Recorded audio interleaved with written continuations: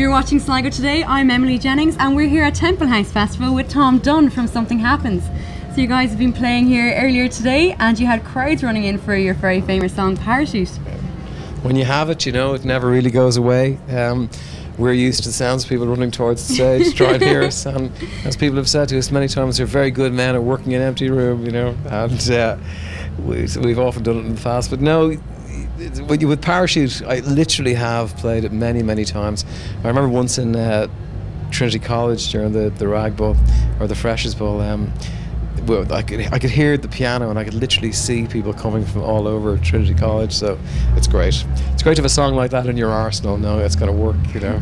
And you were telling me earlier that you didn't think that one was going to be a hit. No, we, we were writing it for the second album, and um, I had bought uh, a four-track recorder, and Ray had bought a piano and he was off separately learning how to play it, and I was trying to learn how to use the four track. Mm. Now the four track, I thought I could write backing vocals for this. Yeah. So I had an idea for a backing vocal. Went into the rehearsal room, and Ray was playing away on the piano, and I said, "Is there any anything ideas yet?" And he played this thing, kind of 16s choppy thing, and I said, "Yeah, very good. Bring it home." So I brought it home, tried the backing vocal. It worked immediately. Wrote a bit of lyrics around it, brought it into the room, and we were all just listening to it, going, "Wow, backing vocals." And then we just sent off the roughest demo in the world to Virgin. And Virgin went, Doolally, and said, There's a single voice. And we couldn't believe it. that a song, you're joking me. So it's great. And then obviously you got that reaction from the public when it first came out. I, I, the reaction to the public I still remember to this day because we would have played it. Um, I'm not sure where we would have played, it, to be totally honest. But then there was a TV show called Seven Bands on the Up with um, seven bands who were all on the up playing it. and um, it was the first time I thought we played it in front of any kind of substantial audience, but they were already singing along with it. And I was just, we were looking at each other on stage and going, how do they know it? Where do they know it from? But it was really instant. Yeah. Um, so, oh, it's one of those great. ones, yeah. There was a seven year old girl at the front of the stage singing it tonight, and I was thinking, brilliant. That song's work is done. I know that was one of my favorite songs when I was growing up as well. Yeah. Oh, it's amazing. My parents were always playing it, so they're actually here See? watching. They were watching. Multi generational appeal. What more can you ask for?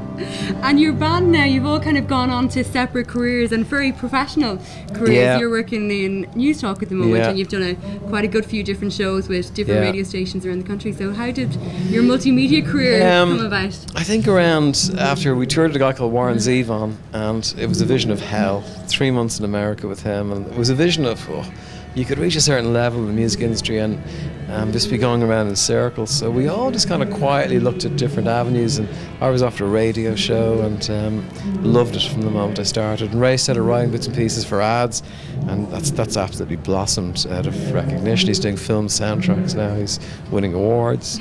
I always said he was a talented boy. Um, Al is in RTE, Eamon is in MCD. Everyone just seems to do really well at whatever they, they turn to. That's a that's a good thing. It's also a hindrance because it's very hard for us to do gigs like Yeah. this or, or rehearse or try and write songs. It's a pity because if you live two lives, you'd, you'd have more time, but it's hard. And you are very busy, so you don't do many festivals, but you did choose to come to Templehouse Festival. So what makes our festival so special? Um, location, location, location. Uh, we'd heard all about it.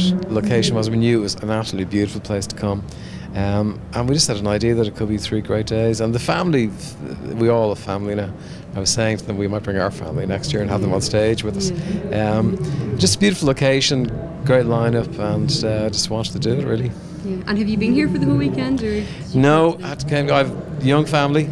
Uh, I'm on a pass out to be here at all of it. Three, nearly three, nearly five. A three-year-old, as we speak, has the runs somewhere in Dublin. My wife is up losing her mind. I'm on this rest and relaxation Yeah, break. you're having a so yeah, I'm gonna pass out.